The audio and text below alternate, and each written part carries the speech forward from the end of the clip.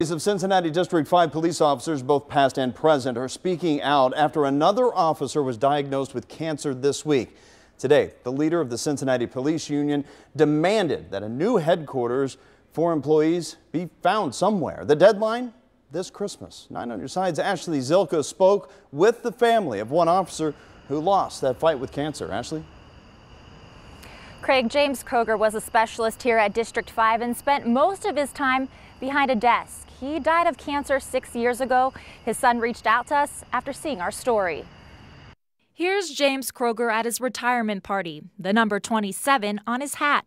That's how many years his family says he worked for the Cincinnati Police Department. All the memories that I have mostly are from his time at uh, District 5. After his retirement, Kroger became a dispatcher for the St. Bernard Police Department.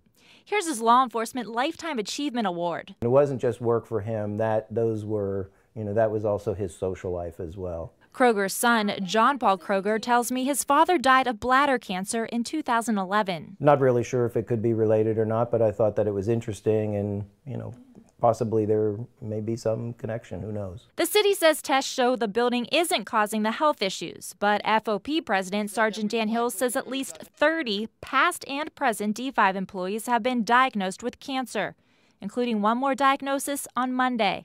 He says six officers under the age of 60 died of cancer in the past two years. These are some of their faces. I spoke with several of their families.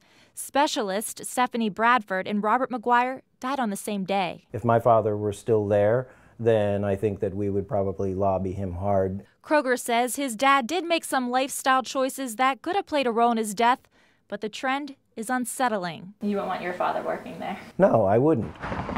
Not at all.